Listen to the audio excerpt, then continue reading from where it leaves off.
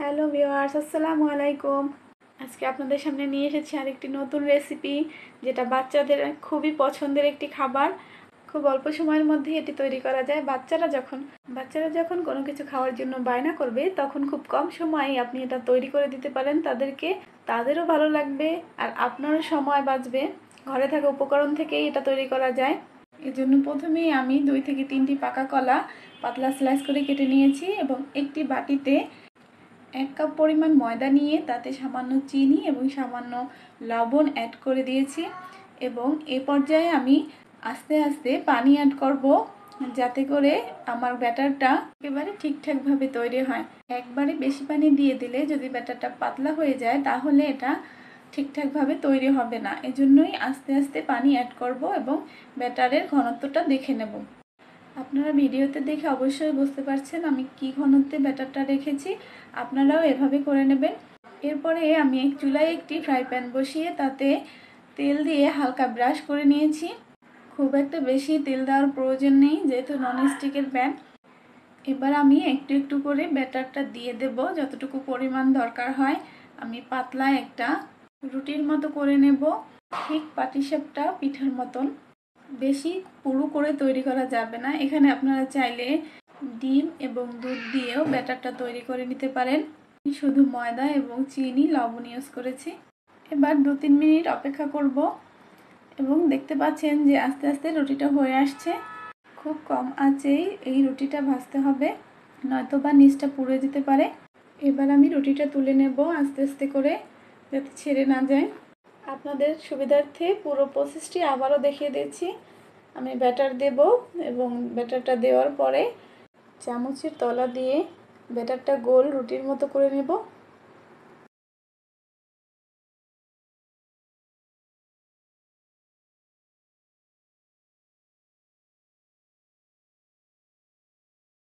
এভাবে রুটি তৈরি করে নেওয়ার পরে এতে আমি দিয়ে দেব আপনারা চাইলে এখানে বাটারও ইউজ করতে পারেন। আমার বাসায় বাটার নেই, তাই আমি এখন কন্ডেন্স মিল্ক দিয়েই কাজটা করে নিচ্ছি। রুটির উপরে ভালোভাবে কন্ডেন্স মিল্কটা মাখানো হয়ে গেলে এর উপরে আগে থেকে স্লাইস করা কলার পিসগুলো সাজিয়ে দেব। আপনারা ভিডিওতে দেখতে পাচ্ছেন আমি কীভাবে কলার পিসগুলো সাজিয়ে দিচ্ছি।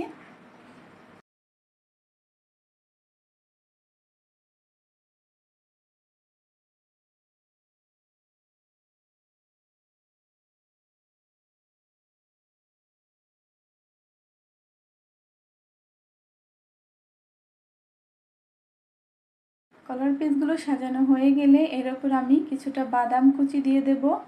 বাসায় যে ধরনের বাদাম আছে সেই বাদাম দিয়ে এটা করতে পারেন। আমার বাসায় পেস্তা বাদাম এবং চীনা বাদাম ছিল, আমি এই দুইটা দিয়েই করেছি।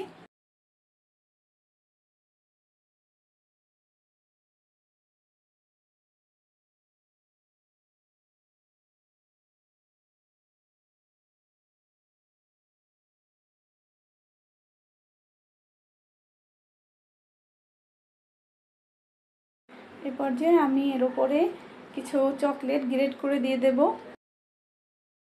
চকলেট যেহেতু বাচ্চাদের খুবই পছন্দের একটি খাবার, আর এই খাবারটির মধ্যে যেহেতু চকলেট দেওয়া আছে, তাই বাচ্চারা এটি খুবই পছন্দ করে খেতে।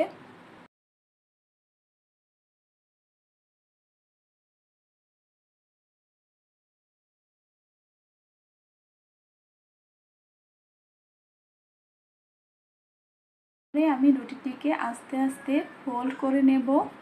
আপনারা ভিডিওতে দেখতে পাচ্ছেন আমি কীভাবে রুটিটিকে আস্তে আস্তে ফোল্ড করে নিয়েছি। ঠিক পাটিসাপটা পিঠার মতো করে ফোল্ড করার সময় একটু চেপে চেপে ফোল্ড করতে হবে, নয়তো বা খুলে যেতে পারে। মুখের দিকটা একটু ভালোভাবে চেপে চেপে বসিয়ে দেব। এরপরে নিজের সাইজ ও রুচি অনুযায়ী কেটে নেব। আমি এখানে দুই টুকরো করে নিয়েছি। আপনারা চাইলে আরও বেশি টুকরো করে নিতে পারেন। আমি এই খাবারটির কি নাম দেওয়া যায় এখনও ভাবিনি। আপনাদের কাছে কোনো নামের আইডিয়া থাকলে আপনারা কমেন্ট বক্সে কমেন্ট করে জানাতে ভুলবেন না। ভিডিওটি ভালো লেগে থাকলে অবশ্যই লাইক, কমেন্ট, শেয়ার দিয়ে পাশে থাকবেন। আল্লাহ হাফেজ।